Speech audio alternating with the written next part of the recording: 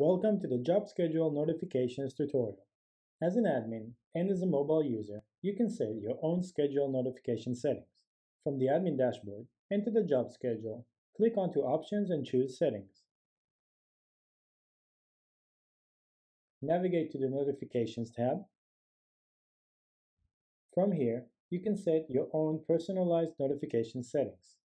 Any changes you make here will apply only to you as an admin.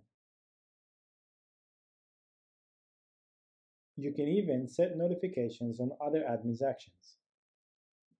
Don't forget to click Save Changes at the end. As a mobile user, after entering your job schedule, click the Settings icon on the top right corner and adjust your settings accordingly. Thank you for joining me. If you have any questions or comments, feel free to reach out at any time.